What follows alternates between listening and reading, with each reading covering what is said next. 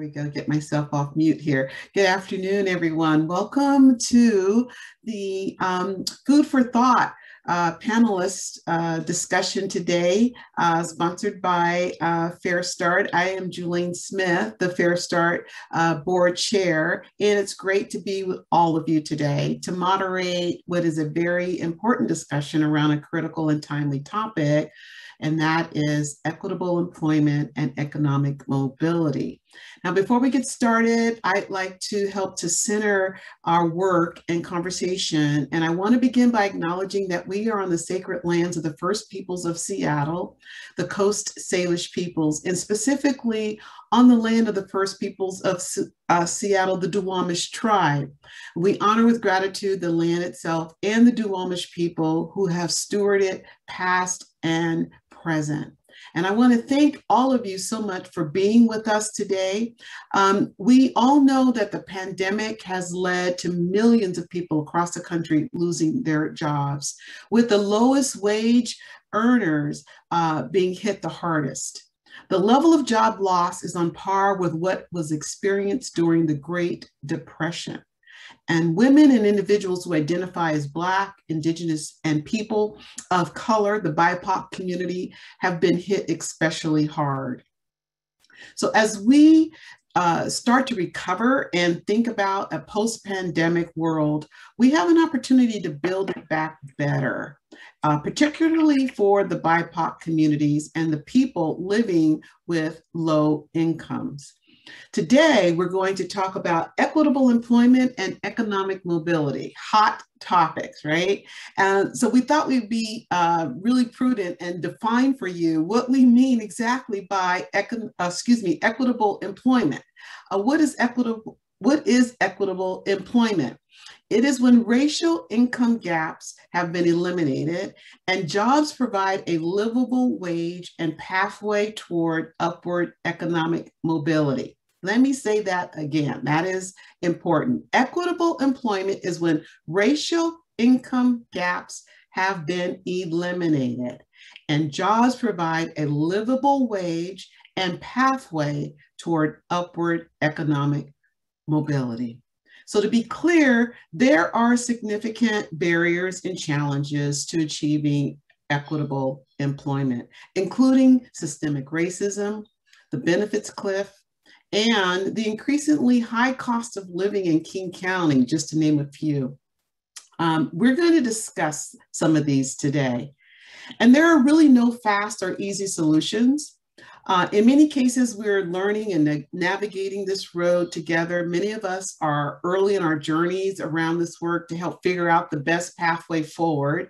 And FareStart is really grateful to work with organizations like the Workforce Development Council and to provide assess, uh, assessment and benchmark growth, as well as our employer partners like MOD, who are learning and innovating alongside of us. We're all in this together and we are learning together. And we know that centering race equity is critical.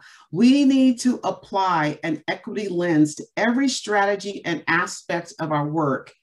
Even before COVID, many people in the BIPOC community and immigrant communities were in crisis and experiencing huge disparities in the workforce. So today we're going to also talk about how food service jobs can be a great starting point to learn new skills that can be leveraged to move up the economic ladder in other industries. But how can we help make the food and hospitality industries, which have been disseminated in uh, by the pandemic, come back even better and more equitably? That's the question we want to ask ourselves. And while not specifically the focus of today's event, we have to acknowledge the recent allegations of sexual harassment by chefs right here in the Pacific Northwest. The restaurant industry as a whole has a problematic history of toxic behaviors that must change if the industry wants to truly create a safe, inclusive, and equitable environment for all. People must be heard, and their issues must be addressed consistently and fairly. In short, enough is enough. So I'm looking forward to digging in more and introducing our panelists. But before I do, because this is such a hot topic, kind of a meaty topic, I thought it would be really helpful to just share a few statistics to give us a little bit of context with regards to the challenges that we are facing. 56% of the hospitality and food industry in Washington state was impacted by COVID, the hardest hit industry. More than 2,000 restaurants have permanently closed. And while there are still a lot of great food service employers, many are experiencing a labor shortage as they try to recover from the pandemic. In King County, in order for one adult with a preschooler at home to be self sufficient, meaning no private or public assistance, now catch this, listen to this, they must make over $36 an hour. The Workforce Development Council has done some research to identify sectors of opportunity that are expected to recover well and offer economic mobility for workers. And these industries include warehousing, construction, transportation, manufacturing, retail trade, IT, and healthcare. So these are industries to watch. Now, I'd love to, uh, for Marie, our guest today, Ally and Angela, to introduce themselves and say a little bit about their respective organizations. So we're gonna, um, without further delay, begin to dive into this really hot topic for the day by having Marie introduce herself, followed by Ally and then Angela. So Marie, take it away. Good afternoon, and thank you for having me. I'm Marie Kurose. I'm the CEO of the Workforce Development Council of Seattle King County. And I was brought on two years ago to lead um, a major organizational transformation to really um, build the WDC's capacity, but also focus on equity and working to become a regional kind of convener uh, around with working both with industry as well as ensuring community voice is at the table and, and part of our our design and co-designing our work. Thank you, Marie. And I go on or yeah, yeah. Thank you. Yes, I didn't mean to cut you off, but I wanted to say thank you so much for taking time to be with us today. And we look forward to hearing more from you. Um, Ally, uh, Mod Pizza, introduce yourself. Hi, and thank you. Um, I love being part of anything where the word, you know, learning and innovating um, is thrown out there. So um, thank you. It's sort of been the story of Mod, really. Um, my husband and I started Mod Pizza back in 2008. We um, mm. opened the very first location downtown Seattle.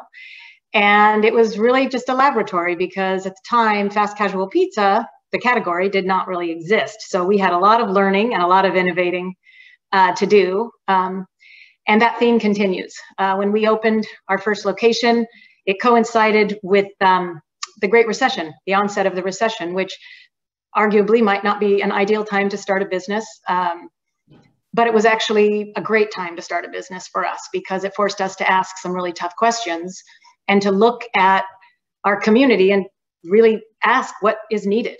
Um, we knew that fast casual pizza was needed because that just satisfied a, a, um, a, very fundamental need that we had for hungry boys, that sort of thing. But beyond that, what did the community need? And I think the community needed and continues to need um, people that are willing to do what they can to help other people. And the importance of business, um, believing and understanding and feeling the responsibility that they can and should be a force for good. So we applied that thinking to um, how we treated and thought about our customers, the price point, all toppings, one price, that sort of thing. But we also thought about it as it relates to being an employer um, how do we want to show up as an employer? And we went into it with a very open mind. We wanted to be a great employer. And um, we were very inspired by people very early on. By location number two, we had employed some incredible humans uh, that had been just as involved. And what was even more incredible was what they did with the, the opportunity of a job. And that that um, inspiration really helped form what is now, um, you know, our, our purpose. Mod exists to serve people in order to contribute to a world that works for and includes everyone.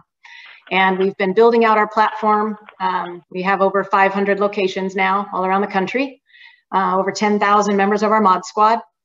Uh, but we do continue to um, feel that we are very much um, learning and innovating, and especially with regard to these topics and our ability to make positive impact through the platform of employment. We still have a lot of learning to do, uh, but we're very grateful for the partnerships that allow us to figure things out. So really, really feel very honored to be part of this conversation.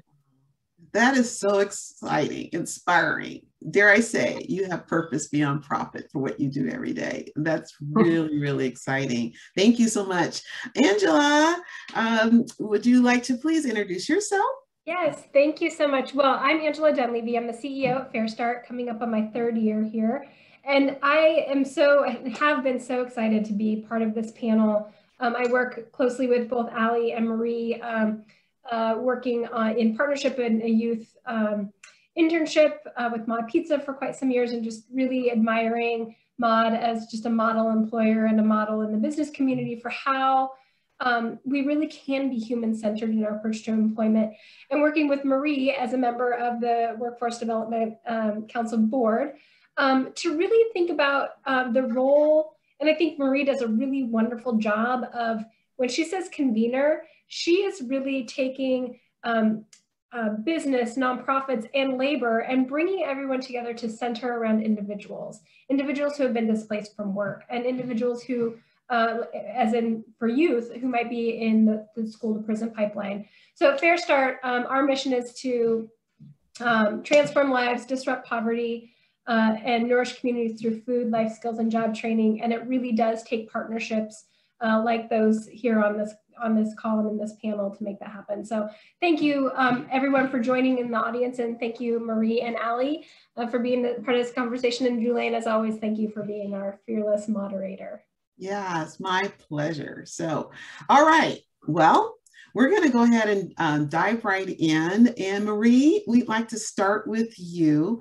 Um, the Workforce Development Council has done considerable research and planning around advancing workforce equity in the Seattle King County area. Now, we realize that this is a really big topic, but can you talk at a high level about some of the key barriers to equitable employment.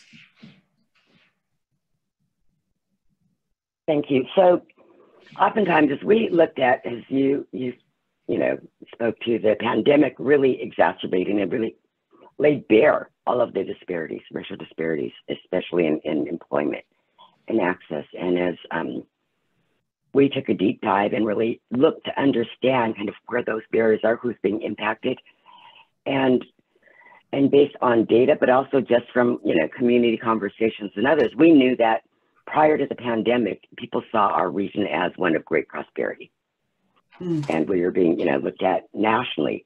But then if you drill down and you look at the data, you see that those people, many people of color that you know come from the community, weren't being weren't sharing in that prosperity.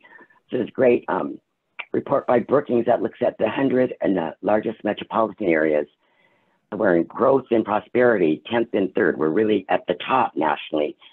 Then when you come to inclusion and race, we drop significantly. So mm. um, we have a long ways to go. and and you spoke to the cost of living, but it's also around the industries that are growing, as well as the job quality. We've seen as we came back from the recession, while there was great growth, a lot of those jobs, job quality kind of deteriorated a lot of the jobs that were coming back lacked benefits. They lacked, you know, um, living wages. And as our our economy continues to grow, sorry, I'm trying to. Um, if we don't address that, we're not going to get back to an equitable recovery. Within certain industries, we see occupational segregation. It's not just about skills gap. This is really about people's and their access to upward mobility and jobs. So in healthcare, restaurant industry and others, those that have made it up the ladder and getting the better paying jobs are less diverse than those entry level or lower wage workers, right? So we recognize that there are practices and and real systemic issues within industry as and as well as kind of our training process that exacerbate and we're not going to get to address those barriers unless we have partnerships with industry, and we recognize it's not just skills, there are skills and partnership in looking at at employer practices and industry practices, as well as our workforce development system practices and how we exacerbate or re reinforce some of those disparities. Mm, that's interesting. Um, Angela, um, with uh, that being kind of the backdrop, uh, can you talk about some of the ways the, the pandemic has been influencing your thinking about the future of job, uh, excuse me, job training uh, and jobs in the food service industry and economic mobility for both adults and youth? Yeah, sure. Great question. And, you know, just adding on to what Marie was saying, we, you know, with the pandemic, we really saw, particularly with our um, students that we serve, individuals who have barriers to employment, who are disproportionately from community of color, that they are impacted more, even more greatly. And, and we saw that across the country, not just here in Seattle. And so when I think about, you know, where we go from here, where does what's FareStart's role in this, I think that what um, what I'm seeing us do internally and at the work that I do with Marie at Workforce Development Council is really rather than it being centered around like what are the jobs that are available and that's important um, but how do we take this really human approach, which I think that Ally and the mod team does just beautifully and say, what do our students want? Where do, where do the individuals who have overcome um, incredible diversity, including you know, mental health crises, addiction, um, uh, homelessness, incarceration, what is it that they see for their lives? And I think that um, the restaurant industry and, and food service hospitality offers a really wonderful low barrier open door to create that job history um, to learn a lot of those transferable skills. But like many people on this uh, on this call who may have been involved in the restaurant industry maybe when you were going to college or in high school as a first job we need to th start thinking about how do we create an upward mobility pipeline so that we can help create the skill and not just create the skill, but support the connection to that next um, rung on the ladder in, in an individual's career. And how do we work as a community, both um, employer labor, uh, nonprofit community, and then at a greater scale with our government um, officials to put systems in place that allow employers to um, provide good supportive wage jobs and individuals to take those jobs without worrying that they are going to be in that benefits cliff gap. So mm-hmm. um, not to get super wonky, but I will say, you know, you mentioned that $36 an hour. If you mm-hmm. make that you need to be self-sufficient, or um, Marie, you're going to know this off the top of your head better than I. The the dollar amount in which you max out on the benefits cliff is what average $21 an hour? Or is it lower? Around that. Yeah. So uh, so if you think about it we've got employers who are in this really tough spot of mm-hmm. not being able to pay those higher wages above the $21 because of the economic model of their business. You've got employees who, if they work at that level or above, but less than the $36, lose their benefits. And so this is why you have people working two, three jobs. And this is a problem that we as a society have to solve. This is not something that can be solved just by the people on this call or in the sectors that we're talking about. So that's that's the way that we're really looking at, at FareStart's work going forward is how can we take this holistic approach that includes partnership involvement, government advocacy, um, and then uh, those critical social service supports that we offer to individuals who have barriers to employment. Excellent, excellent. It's like with all of us, I think the response to the pandemic causes us to reassess what our strategies are and how we mm-hmm. can be responsive to the needs of the students and the people that we serve. And, and with um, that being said, Ally, we know that many people get their initial start in the food service industry. Um, and that Mod Pizza has a people first employment philosophy. And it's one of the reasons why FareStart partners with Mod. So, can you talk a little bit about what this philosophy means and how your company is uh, creating pathways towards economic mobility, particularly for young people? Mm-hmm. It's such um, it's such a big focus for us right now, and and um, and it's such a complicated uh, it's a complicated question and it's a complicated answer. Um, mm-hmm. uh, I think I'll start by saying we are very much a work in process on uh, our thinking around all of this because um, the world has been changing so much. So if we go back, um, uh, kind of the when when our our purpose um, and and our um, our the developing out of our platform from which we make our positive impacts was really taking hold um, it was in response to what we've been observing, which was how when we were willing to open up our mind and our arms to people that had barriers, and provide a great job opportunity, um, what they did with those opportunities were really astonishing to us. And that is how that inspired in us um, a desire to want to build our business to create more opportunities for that to happen. And what we saw happen um, especially in the early days um, was this incredible, you know, getting to gratitude um, for some of these individuals, and in in return, they they just poured themselves into their their job, and and Mod benefited hugely. You know, that the work ethic, uh, the customer service that was provided, um, just really quite incredible. And mm. and and and so often um, we would see some great upward mobility with those individuals because they were just so incredible and and worked so hard and so for a period of time, I think the focus was more about, well, our role is really to create an opportunity and to early on provide stability. And stability was more complicated. Uh, we had to learn, you know, what that actually meant. And for some of our um, um, the people that we were hiring, um, falling off of a stable place was something that could happen very easily and often. And it required us to get creative and think about how can we take care of the people once we've hired them. It's one thing to provide a job. It's another mm-hmm. thing to make sure that you are taking care of the people on their journey at, at, at, their job. And so for us, we built out of what we call the Bridge Fund, which is a crisis um, fund that helps support um, members of the Mod Squad at, at, a time of crisis. And, and it's been building out and developing um, quite beautifully over the years. And it does do a really good job of helping to um, secure a sense of stability.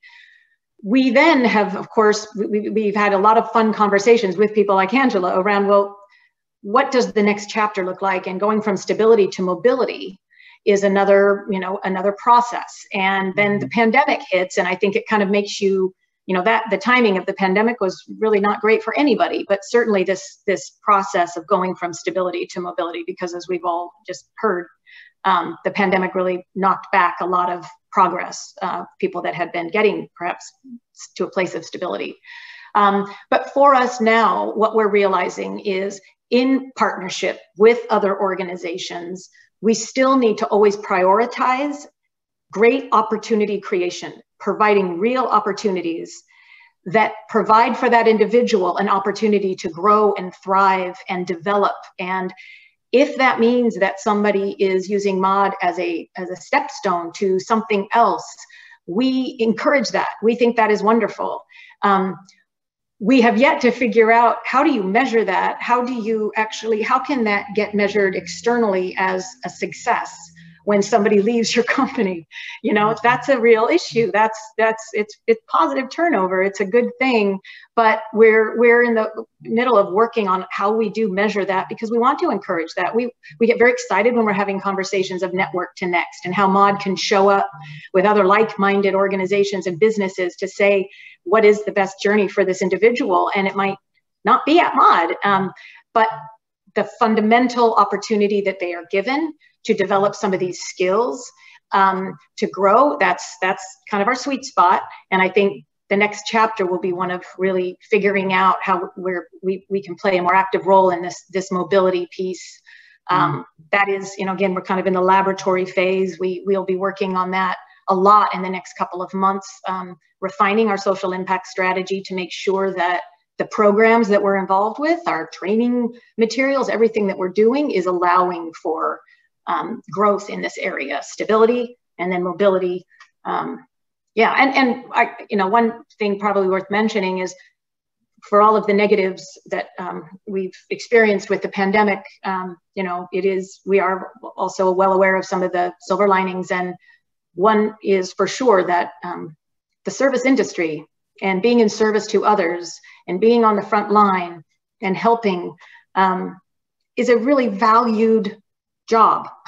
and, and we need to keep that conversation going. Um, uh, and and maybe go back to how it was you know long long time ago and to be of service was a very noble undertaking and and we need to i think do a better job as a society and in our communities to really um, honor that and uh, and i think that's an opportunity going forward that i think the pandemic will hopefully help inform yeah, well said. Well said, Ally. Thank you so much. You said a lot there that I kind of was um, connecting with uh, not the least of which is the challenges of measuring social impact, right? It's like really how do you um, measure that so that we can really uh, monitor how we're doing in terms of helping people to move from stability to mobility and being really intentional and very purposeful uh, in that regard as an employer. Um, I have a question for the group. Um, uh, so uh, any of you ladies can chime in on this one. Um, when you're thinking about uh, making progress in terms of reducing poverty and homelessness, right? These are these are big, meaty uh, topics and, and complex areas. So we can't go at it alone. No, no one sector or area of uh, influence is going to tackle these problems. We really need to uh, partner. So when you think about the opportunity to partner, what types of partnerships within the workforce development area do you feel are needed to meaningfully reduce poverty and homelessness. Don't be shy. so I will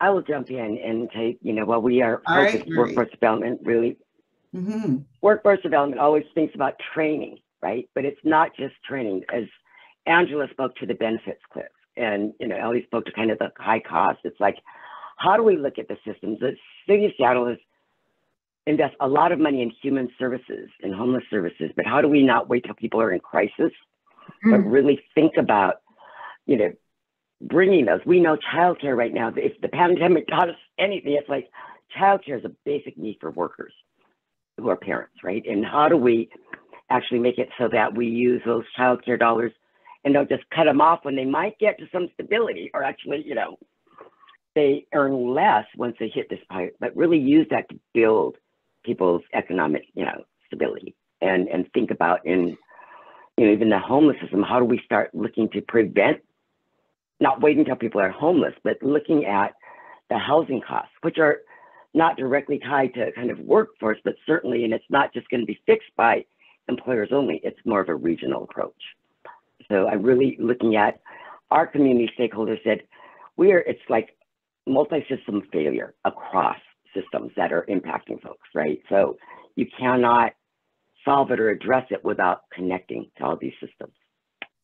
So childcare area, affordable housing, uh, forming partnerships with agencies whose mission is to provide those services mm-hmm. would help us to address homelessness and um, reduce the poverty very good. Um, anyone else have thoughts around what we could do in terms of partnering uh, so that we are uh, collaborating and, and uh, fulfilling a, a, mission, you know, by working together in this way?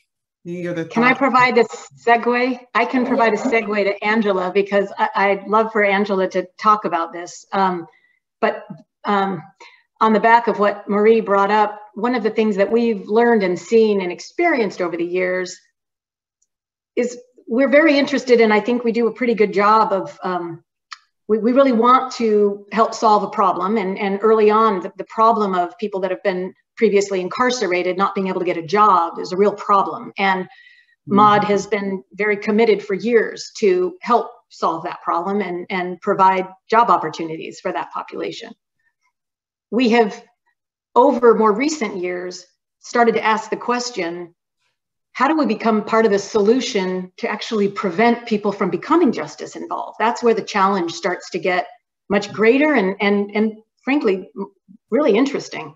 And all things point to opportunity youth.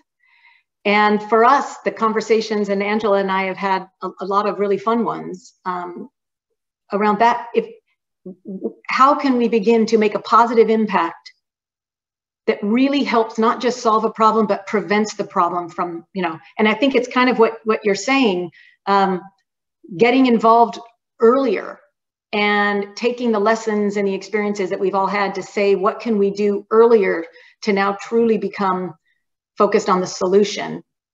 Um, that is where mod of the work we've been doing with FareStart for the last four years is inspired by that notion and i know that that's an area that angela is very focused on and, and is much more of an expert in than I will ever be. But so I'd, I, I would love to hear Angela, you know, give her views on that. But the first thing that came to mind when Marie was talking about, yes, this is this is why we we work with somebody like uh, FareStart. Well, thank you, Ally, and thank you, Marie. I think that you know, as Ally knows, I can talk about this for many hours. Um, so I won't. I'll, I'll I'll kind of speak my thoughts on it quickly. I think you know, when we did our last food for thought session, we talked about the great partnerships that FareStart has engaged in with uh, respect to hunger relief. And, you know, really, I think that that was the theme that, that we've had over the last couple of years, not even in the pandemic, but, but pre-pandemic um, with, with partners like MOD. And I think that what is really critical is uh, aligning on values, making sure that we are aligning our own FareStart values with the employer partners that we work with and really not going it alone. And I think that both what Marie touched on and Ally touched on, that is a, a, a, real gap that we have just in, in our in our community in our society is supports that are seemingly intangible. And so if you you know I talk a lot when when Ally and I talk we talk a lot for lack of a better term of temporary supported employment.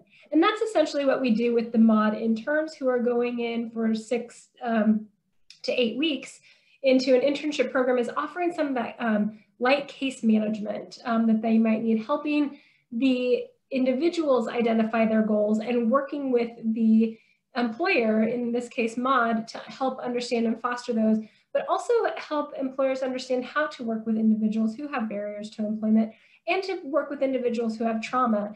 And I'll say that in the restaurant sector, it's not just people who have experienced homelessness or incarceration or addiction who have trauma. We all carry trauma. And I think that there are places and times when that can be triggered um, even more. Um, and I think that one of the things, whether it's restaurant manufacturing or, you know, the C-suite is when, when you fa- when you have that moment of failure and you don't have the skills to work past it because you were never either given those skills as a child or you have have experienced something in your life that sort of took you out of the society and put you in incarceration or you were in, um, experiencing homelessness those are not like it's not you don't just turn those back on and so i think the thing that we provide at FareStart that is so critical is that like personal connection to values uh, connecting that to employment um, and then you know really working so that it's a, a cohesive you know, ecosystem that is pulled together supporting the employee, which then in turn benefits the employer. Um, I will say really quickly what one thing that we've learned um, at FareStart that really benefits every single person, and this is so different than when FareStart was founded 30 years ago. Every single person we talk to says, "Oh my gosh, I cannot believe how much the technical literacy and the technical training just in learning how to use Zoom and a computer and writing a resume has helped change my life. And I think that that's the thing that we all need to keep in mind as we move forward. Customer service jobs are always going to be in demand because you know what? That mod pizza or that Starbucks that's in, you know, the lobby of Children's Hospital, which I visit too often because I'm a mom of boys, those employees who are working there are the perfect employees to go and work in the hmm. medical sector. And so we need to give them not only the uh, behavioral, you know, skills, the emotional skills, but also those tech um, resource skills as well. And I think that that's really where I see partnerships knitting it together because FareStart can't do all of those things on our own, nor should we, right? Some of those things just are outside of our core competency. But if we can partner with with different organizations, businesses like Mod, we can all bring our best expertise to the table and center again on that individual. And you know, it's it is still even though we're trying to create systemic change, it is one person at a time. That's exactly right. It is one person at a time. Thank you so much, Angela. Mm-hmm. You know, you, I get really excited about the time we live in, even though it's been hard. It's been hard on all of us, this pandemic. Um, but one of the things that I think that it has done is it's helped us to really assess our, our own core values, right? And you said this, Angela, that in terms of partnering, aligning around shared core values is really, really important. So we have this great opportunity we have an opportunity to begin to look for those partners who share our values and to think innovatively about what we can do differently in the future. So, with every crisis, we have opportunity. So, this next question is for the group, and it has to do with what are some of the things that you're actually excited about in this post pandemic era that we are moving into from a workforce development and employment perspective, because in many ways, we have an opportunity to be the change that we want to see. So again, don't be shy. Who would like to jump in and just share for uh, our listeners, what are some of the things that you're actually excited about when you think about the post-pandemic era we're moving into? Well, I want to let someone have the last word and not have it be me. We tend to go in these circles, and I'm last because I'm because I'm the FareStart uh, spokesperson. But I'll go first on this one. Um. You know, I think that my the thing that I'm most excited about in the future state is that we would have more and more people who would be in career jobs, whether that means that they have gone back and gotten their bachelor's degree or beyond, whether that means that they got you know trained in, in technical um, whether that means that they became a, you know, a, their own entrepreneur, um, a business owner in the food sector, whatever it is that their passion might be, that we have more people who can say, I needed some help in my life.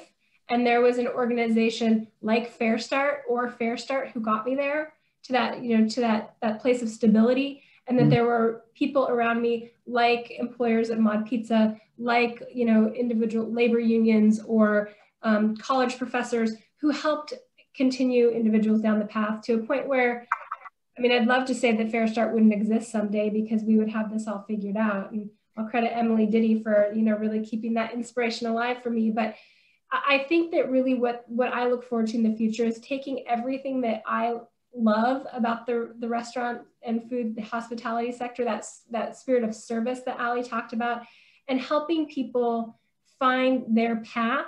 And not because we said you should be trained in food service, but because they find a path that they're really passionate about. And if it's if food service is one of their stops along the way, I mm-hmm. would be so proud that FareStart was part of that. And if if it's not, I'd still be proud for FareStart to have some place in creating that that stability for that individual. Yeah, well said. That is exciting. Marie, when you think about the future and um, the opportunities that this pandemic has presented, what do you get excited about? Yeah, I get excited about people's disruption causes us to step back, right? And, and really think about doing things in a different way. And it was um, the, the pandemic was just so clearly, I think there was uh, the racial reckoning again, but also people really started to see those disparities and inequities that are going on. Mm-hmm. And it gives us an opportunity to actually talk about race. And they actually recognize structural and systemic racism exists. Now, it's not a comfortable conversation that a lot of people like to have, but you know, my approach is like, let's bring us to the table and have the conversation yeah. and convene the different folks bringing community to the table to speak for themselves, to co-design. You know, because programs alone aren't going to fix this. We need, I'd be remiss to say, we, we need some industry like champions, like Mod Pizza, that are really going to push and look at their the way they're doing it and opportunities to do things in a different way. I, coding camps aren't going to get us there. It's how do we collectively work to achieve some and have as our you know north star that this equitable recovery. Yeah, that's right. That's right. Collaboration, partnership. Ally, would you like to weigh in on this before we go to our next question? Sure, and I very much echo what both Angela and Marie have said. Um, uh, I get most excited that in many ways this horrible pandemic has um, been a great reboot in some important ways for our for our planet and the number one being that human connection matters and mm-hmm.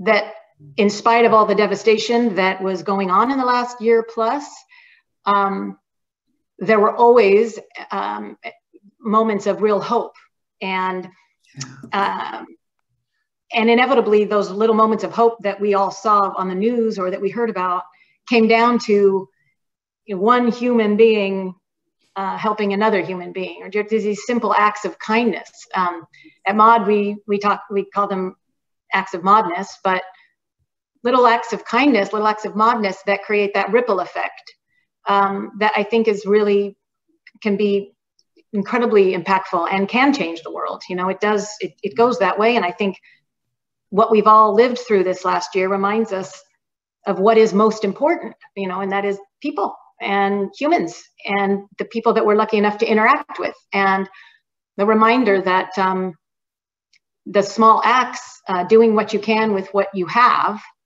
adds up to something quite wonderful. And so I get very excited that I think a lot of people are uh, reflecting on this idea that, wow, I, um, I get a chance to kind of have a bit of a reboot. I reprioritized what I care about, how I spend my time, and I don't know how much time I have. So I want to use it wisely. Do you want to be part of a problem or part of a solution? Do you want to be part of a force for good or, or not? Uh, I think people have had enough time to ask those questions. And I hope that in years to come, we'll see the benefits of people saying, wow, I can be part of helping. And it can start with just my neighbor, the person right across the counter from me. Um, and, uh, and I'm reminded that, you know, here we are on the other side of uh, what's been so difficult. Um, and there's a sweet little book I've been reading where it talks about, it asks the question, right, do you see the glass half full or the glass half empty? And the comment is, well, how about getting excited about the fact that there's a glass? And I think we're kind of at that stage right now where we we're here, you know, and, and we have people who have incredible needs and there's a lot of struggle, but we have a lot of people who want to help and a lot of people who want to be part of something that matters and change lives. So I think the importance of connecting everybody um, is paramount. And um, again, comes right back to why we get so excited about meaningful partnerships where we know that we can actually, um, you know, make a difference if we if we are aligned with and working with and collaborating with the right people. So, yeah, well said. Um, we've talked a lot about the partnerships that can happen at the provider level, the business community level. I like to now have the group uh, share your thoughts for our listeners about ways that our community can actually get involved and support the work that's being done to try to reduce poverty and eliminate uh, the homeless population uh, problems that we have in our community. What can we do as a community member to help support this work? Other than coming to Mod Pizza. well, I was about to say support FareStart. I was going to say support FareStart. I think supporting the organizations that are addressed that are really at the tip of the spear of dealing with these really important um, issues. Absolutely. Finding those organizations that have the track record, have the expertise, and have the passion and the commitment to to really make change, and um, finding those organizations and supporting them. Absolutely. And of course, FareStart is definitely at the top of my personal list, considering that I am the board chair. So I'm a little biased on that one. But you know, what are some other um, ways that you would motivate or encourage our community um, to get involved? Marie, what are your thoughts about that? I think it's really lays bare like we have been in this divisive kind of toxic kind of conversations for, you know, recently. And, and uh, I think it's now recognizing and really looking at kind of what are the root causes of some of this work. Mm-hmm. So instead of, you know, blaming and really being divisive, it's thinking about how we partner. I mean, people from the community, from our providers, it's really supporting them and but listening to, you're not coming at this with this charitable mode, but really as a partner, right? And um, and it's being more inclusive in just you know all of our kind of work. It's like expanding that table and really looking at the listening to the different voices. Huge opportunities. There's great great things happening. It's just how do we bring them all together and so that they we really make a you know impact longer Absolutely. term. Absolutely. You said a powerful uh, word there, listening, listening to each other. It's so powerful. You can uh, find common ground if you just take time to listen and to understand.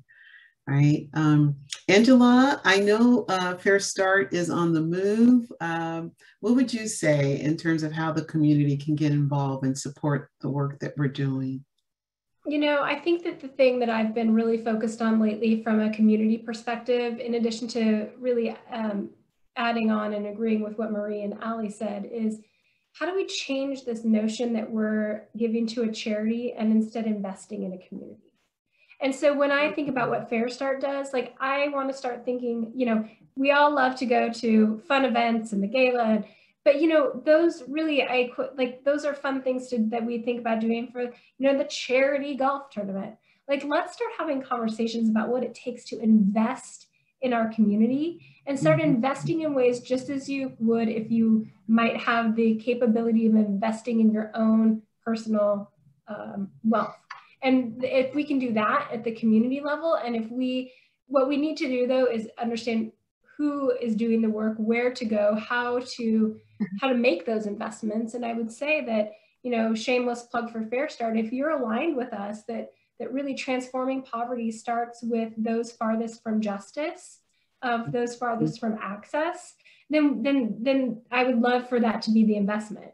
Um, possibly slightly controversial if you're investing if you're giving to FareStart because you'd be really excited to see uh, a FareStart graduate in your favorite restaurant, which is not a bad thing. We want that, you know, as well. That may not be the best motivation. And so really changing your thinking about why you're investing in the community, why you're investing in, in programs and organizations like, um, like FareStart, like the other workforce um, employment social enterprises that exist in our region and around the country. And then I think this last thing that I would that I would encourage people to do is so hard because we always say contact your local representative. And I understand how nebulous this seems. And when we start talking about the federal government, how it, you know, it, it really does feel like our one voice or our even small collective voices won't be enough to make change in, in DC. But I'll tell you, we have an amazing set of federal delegates who are really working. And when you want to talk about something that is not partisan, you talk about jobs because yeah. everyone supports individuals getting into successful jobs that are appropriate for um, their skill level, their age in life, their time in life. And we need our federal delegation to start talking about things like this, like the benefits cliff. You know, what happens, how, how we are calculating poverty in a region like Seattle should not be the same as in rural Mississippi. And we have one federal calculation. Like mm-hmm. that does not work. And that won't start changing until more of us start talking about it. And so, um, mm-hmm. if there's one wish that I would have, is that people would reach out and just simply let them know I care about this. Like, mm-hmm. I care about people being able to live sustainably in my region. And I think that that could go a long ways, and people don't realize it. But that's, that, I would leave you with that. Absolutely. Well, well, said. This has just been a rich conversation. Each of you, I just want to thank you for your time in um, sharing your heart and um, uh, giving us some insights into what you're thinking uh, about how we can really uh, work towards equitable employment. Um, before we begin to wrap things up, I just want to give each of you, uh, Marie, Ally, um, uh, Angela, an opportunity. If, if there's anything you wanted to share that you didn't get a chance to share uh, before we begin to wrap up, I, I want to give you that opportunity to do that with our listening audience. Uh, so is there anything that someone would like to share that you didn't get a chance to share before we begin to wrap up for today? Okay, so you guys have poured your heart out, and we do thank you for that. Um, okay, we don't want our phone ringing. Um, thank you so much to all of you for joining us today. Again, we have uh, a challenge in front of us and that is to achieve equitable empo uh, employment. It's a critical part of building a thriving and inclusive economy that's going to benefit all employers, workers, and our community. It's really what um, life is all about, is helping us to um, help each other to live the best and fullest uh, expression of ourselves and work is a way to do that. Um, I look forward to seeing how we can continue to do this work together.